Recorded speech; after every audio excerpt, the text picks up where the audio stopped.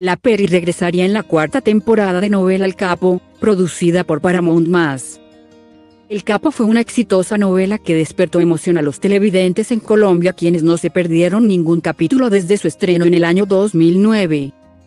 La producción contó con la presencia de actores como Marlon Moreno, quien interpretó a Pedro Pablo León Jaramillo, Caterine Vélez, quien le dio vida a Isabel Cristina Marín y María de la Aida Puerta, con el personaje de la Perris.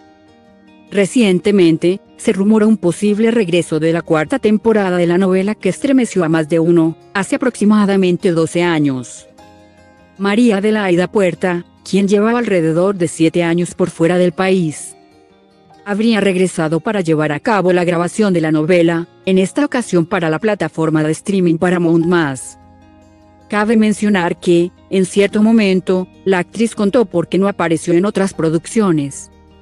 De la actuación no me he retirado, me fui a vivir fuera durante siete años a México y trabajé un poco en televisión y con proyectos en teatro.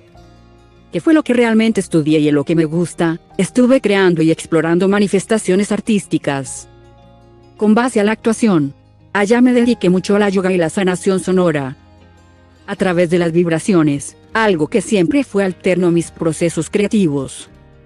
En cuanto a la nueva temporada del Capo, Puerta no ha dado detalles de lo que viene pues su personaje murió en la segunda temporada.